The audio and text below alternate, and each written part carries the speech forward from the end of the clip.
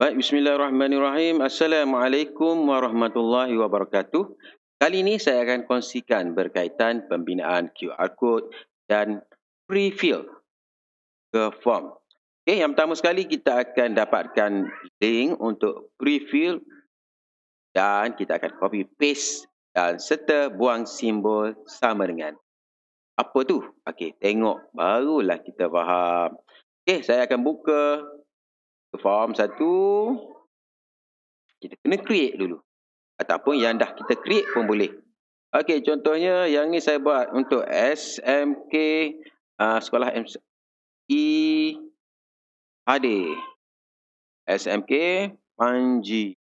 Untuk PKPP okey kemudian yang ni uh, ID pengguna pengguna ataupun nombor IC dan sebagainya lah. Okay. Multiple choice, short answer, require dan kita tambah lagi badan. Tambah. Dan ini kita nak suhu badan. Okay. Dalam bentuk. Okay. Dalam bentuk number. Okay. Require. Seterusnya. Kita kena buat apa? Di bahagian setting. Klik setting. Dia ada prefill. Ah, prefill eh yang tadi. Kita klik get prefill dan yang ni pengguna kita, kita masukkan satu. Contohnya M Sari. Ah, tak apa. Type dia apa-apa. Yang ni tak perlu sebab yang ni kita nak masukkan datanya. Klik get prefill dan get link. Klik get link. Okey, copy link. Dah bawah ni ada ada copy link kan? Klik copy link dan kita letak dalam dalam ni dulu. Ha, paste. Dan yang saya cakap tadi yang sama dengan sama dengan simbol sama dengan. Yang ni kita tak perlukan M sarik ni. Pilih je M sarik. Yang ni yang kita perlukan. Oh dulu. Okey dah siap. Yang pertama. Okey sekarang ni yang kedua apa? Bina data maklumat user ID iaitu nombor user dan sebagainya. Okey. Masuk dalam drive kita tadi. Kita masukkan data satu. Contohnya 30, 27. Kita klik. Oh, ni get link dah. Yang ni preview. Kita klik preview dulu. Masukkan data. Contohnya tadi M Sarik. Tu badannya 37. Kita klik submit dan kita klik submit and others ataupun masuk yang ni dia ada responses. Kita klik responses klik create spreadsheet dan kita create ya. Klik create. Okey data kita dah ada yang timestamp, ID pengguna, suhu pengguna. Sekarang ni kita nak create satu database iaitu data maklumat yang mengandungi ID, uh, nama, nama kelas ataupun tingkatan dan sebagainya lah. Okey, kita masuk dalam ni, kita klik tambah. Tambah dan kita rename kepada maklumat. Okey, maklumat dan kita masuklah. Contohnya ID pengguna. Nama. Kemudian aliran ataupun tahap kelas tingkatan. Kelas tingkatan. Dan nama kelas. Okey nama kelas dan sebagainya.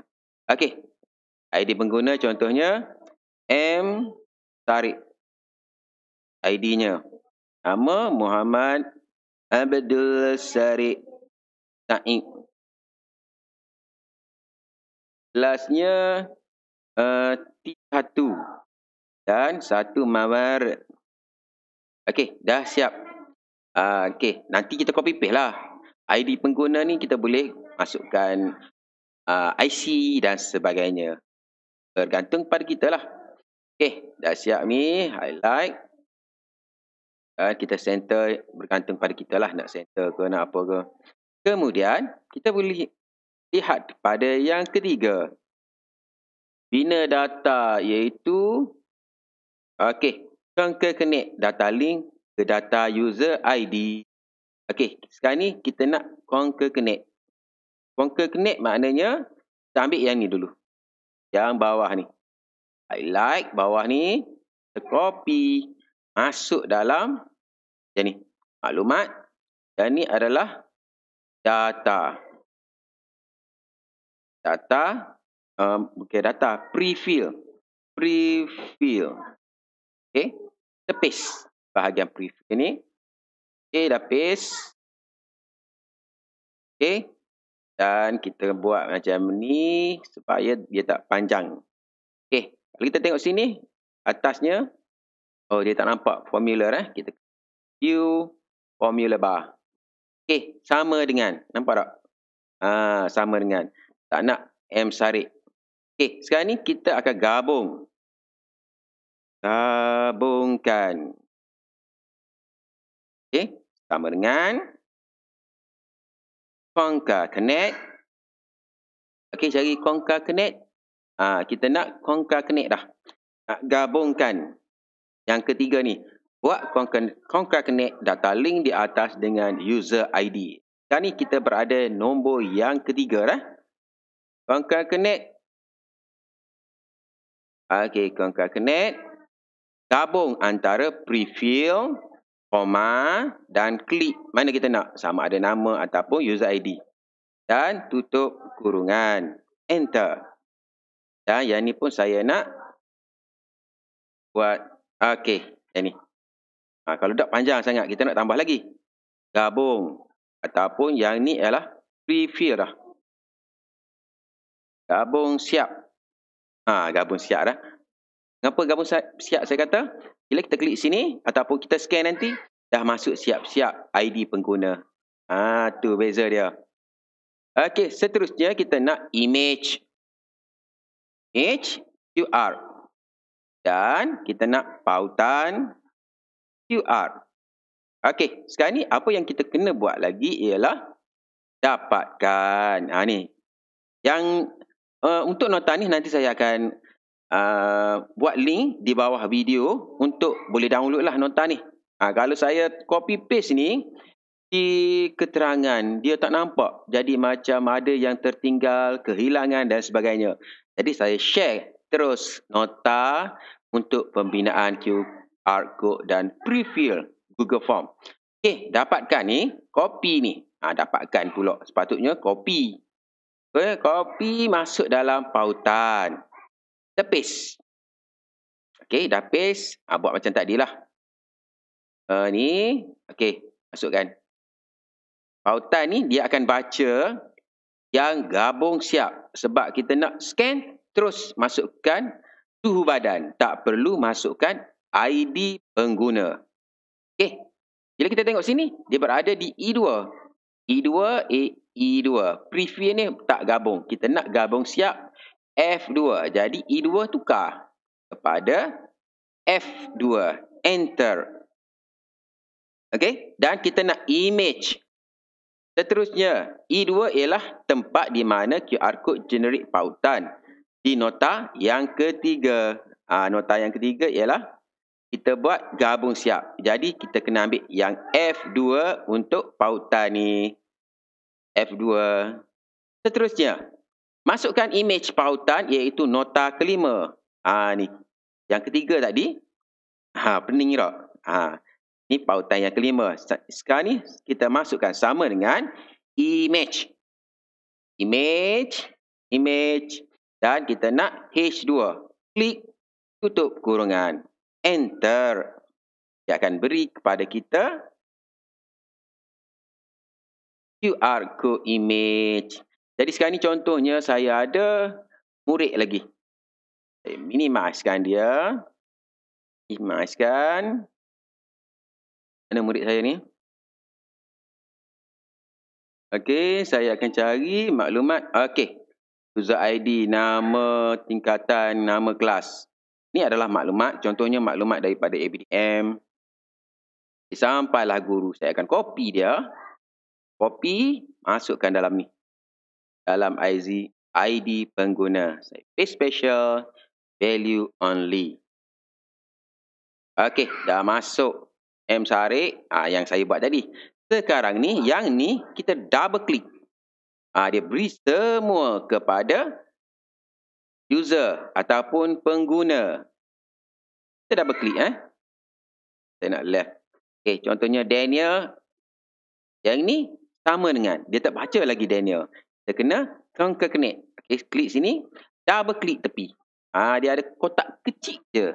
Dan kita klik dalam ni, dia ada kotak kecil ni. Ha ni, nampak? Okey, kita double klik dia. Double klik dan setiap ni dia akan gabung. A7. A7 ialah sini. Ha, M5 maknanya. Okey, sekarang ni, yang ni kita nak double klik boleh. Tapi dia tak keluar lagi sebab yang ni kita belum double klik lagi. Okey, dah double klik. Sekarang ni kita double klik yang ni. Bawah ni, double klik dia.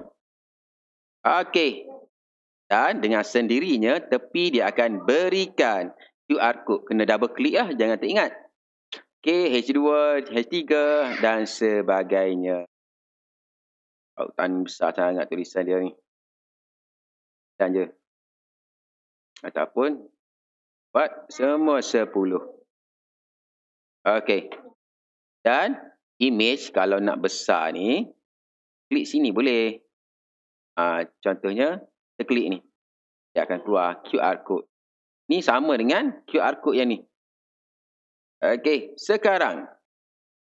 Ha, ni lambat sikit. Kalau internet kita slow, slow lah dia. Sekarang ha, yang data kita buat ni dah siap lah. Dan kita nak masukkan dalam data studio. Data studio saya akan tunjuk lepas ni. Contohnya, bila murid ni, ID dia uh, bukan M1. Contohnya murid ni idea ID dia IC. Contohnya M uh, 0702 34. Okey, contoh dah. Jadi Amirah ni bila dia kita tukar ni dengan sendirinya pautan untuk image telah bertukar. Dan bila kita klik sini dia akan jadi M070 lah. Contohnya okey, M0702 dia akan mengikut ID pengguna ni. Jadi yang penting sekarang ni ID pengguna. Dan untuk maklumat ah, cikgu kalaulah IC murid kita 07 07 Ha, yang tu jadi masalah. Sebab bila kita type 07, kosong tak, tak keluar. Jadi untuk murid, saya sarankan kita letak M depan. M kita boleh conquer connect je. Okey. Okey, ni contohnya M10. Klik. M10. Auto prefill. Dan untuk cara penggunaan, ada rakan-rakan tanya tak? Saya akan tunjukkan cara penggunaan dengan pembinaan sistem. Saya akan update semula sistem uh, E-HD KPB ha, di mana kena masukkan uh, suhu badan. Yang tu tunggu selepas ni. Bagaimana kita nak scan dan sebagainya. Scan kita gunakan handphone sahaja. Tak perlu beli uh, QR code ataupun barcode scanner ya. Okey sekian. Tunggu episod seterusnya. Assalamualaikum warahmatullahi wabarakatuh.